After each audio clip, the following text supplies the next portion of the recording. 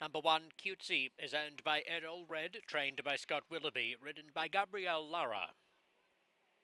Two, Placation, owned by David and George Landeros, trained by Sergio Morfin, ridden by Cruz Mendez. Cruz Mendez with the late pickup mount on Placation.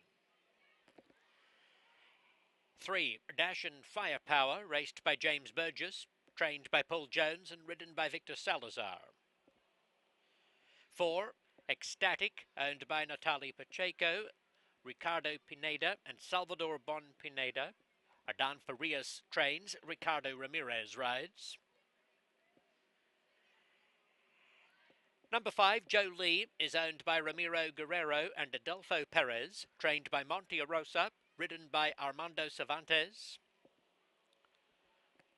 Arosa also trains number six, Apolitical Power, who carries the colours of Dun Ranch. Eduardo Nicasio is in the irons. This race opens the final $1 pick. Racing, Apolitical Power and Joe Lee win the start together, and Joe Lee goes to a narrow lead from Apolitical Power, followed by Ecstatic and Cutesy Placation. It's Joe Lee taken on by Ecstatic, Apolitical Power lunging out wide, photo close, three-way photo.